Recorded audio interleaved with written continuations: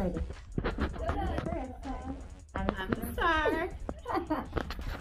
Yeah, most of you guys know we both had hyperemesis like severely, right? And we both suffer in the aftermath tremendously, like with dysautonomia, fog, mast allergies.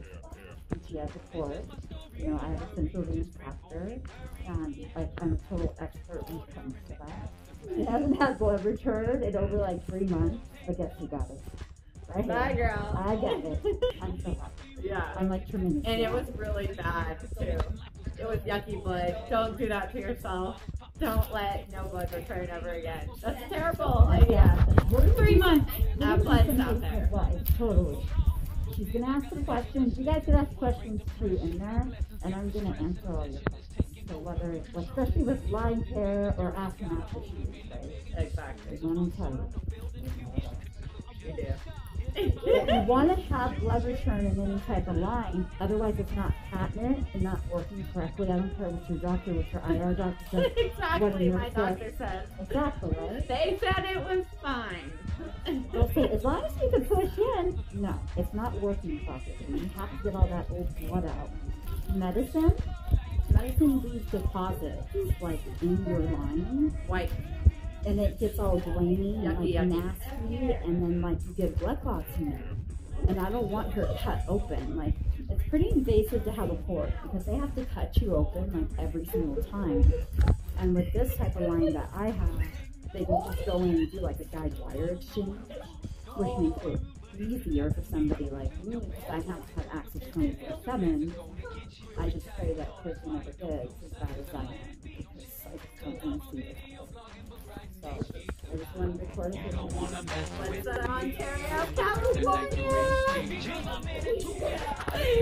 Over here playing like having fun. I'm telling them to be quiet in the background.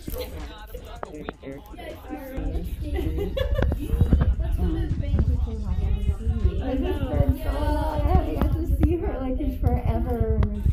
She's the one friend, like seriously, that I could go a long time without talking to, and we always pick. Going Well, we picked up two weeks ago, and now I'm in California. I know, right? I was telling her I want to get that blood out of there. I want to get that blood out of there, and they're like, no, the doctor is fine.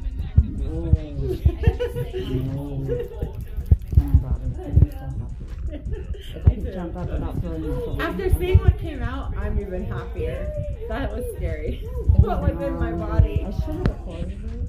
So you could have like looked back at it to see maybe another time we could do that. We were planning to do that, but it just didn't work out. No. The reaction like when we came here. Normally Robert leaves the AC on, but like we usually never visit people because they just don't understand the illness. But she does, which I'm so happy. it makes it nice when you have someone that's sick and screwed up. Great. I don't know. Oh, I'm, I screwed up. Pass what the doctors say. They can handle. It's too complex. Too Or- complicated for or me. things when it's It's Um, outside Of scope. my scope. exactly. Exactly. Okay. What happened? We're worried about robots. Um, it's like the end of the world. That's the thing. Yeah. What happened? Attention HG activists, we are outside to help the children with the roadblocks. Tell me. Our phone's at 10. Wow. That is something to be so worried about. Are we gonna be okay? She looks like she might not. Stage froze in time. Yeah. Alright. Peace out. Bye.